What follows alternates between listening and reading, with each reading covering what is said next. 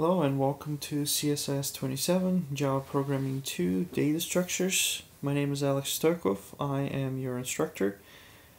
Uh, in front of you you see the class homepage where you will find the start and end dates of the class, important deadlines, uh, the location, and what time the class meets for the face-to-face -face section if there's a face-to-face -face section during the semester. Uh, of course, the times as well. The preferred uh, way to contact me is using this email. Please include CSIS27 in the subject lines of all your emails to me. Please take the time to read the welcome message. It explains important logistics and uh, such as due dates also, please read the syllabus. It explains things about this uh, grading rubric for this class as well as textbooks. There will be office hours during the semester, regular uh, spring and fall semesters. I will also post uh, tutors uh, availability for the semester soon. I have a forum for you to build a sense of community, help each other, share information, ask each other questions. And this is all, of course, on top of me. I am your number one uh, line of support. If you have any issues, technical issues, or if you get stuck on anything class related, please let me know. I'll, I'll get back to you within 24 hours on weekdays, 48 hours on weekends. Underneath, you will see the class content is broken down into 16 weeks with a link for each of these weeks and a topic that we will be covering for each of these week weeks. You will see the dates where each of these weeks starts and ends so that you can check your calendar and know where you are during the semester. If I wanted to go to a specific week, I can just click on the link. And for example, right now I'm in week 4.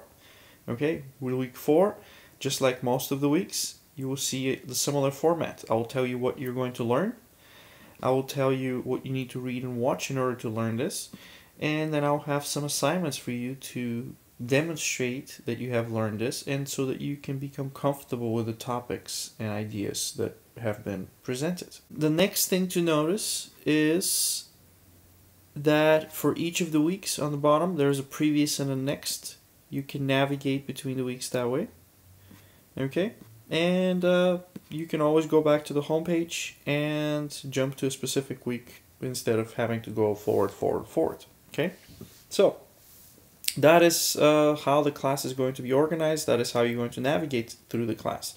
Uh, just let's have an example of uh, some things.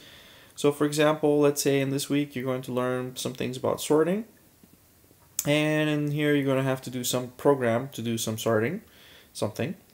Uh, and I need to submit an assignment. So let me show you how to submit an assignment. You click the submit button, scroll down, choose the file that you need to submit. Let's say you're going to be submitting a Java file, right? And you're going to submit that file and you will be able to see the file in the top right corner of your assignment. You can resubmit the file, but your previous submission will be hidden from you. Okay, so just keep that in mind. Once your file has been submitted, check your grades. Check your grades frequently and always uncheck this thing, this checkbox first in order to see your true grade. Okay, so here's my assignment 3. I've submitted it uh, when the instructor grades it, which is when I grade it, right?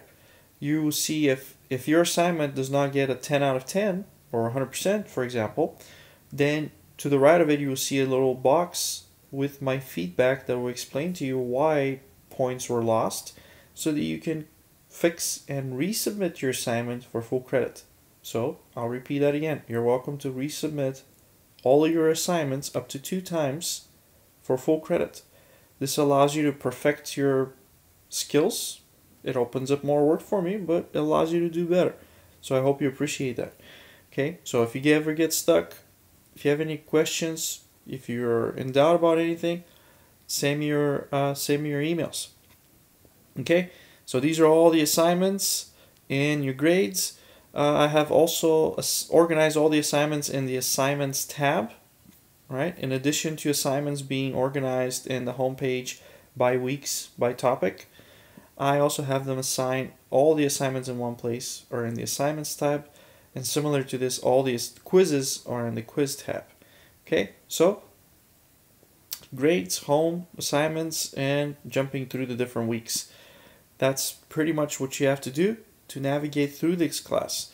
So, if you have any questions, please let me know, and I look forward to working with you during the semester.